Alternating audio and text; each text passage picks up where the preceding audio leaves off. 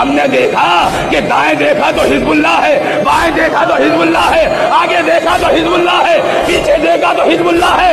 उनका कमांडर ये स्टेटमेंट दे रहा था और मुझे मैदान का मंजर याद आ रहा था। मैदान और में कहा जिन्होंने ये कहा था, हम तो ये समझ रहे थे कि मोहम्मद के पास एक अली है, मगर जब अली में उतरे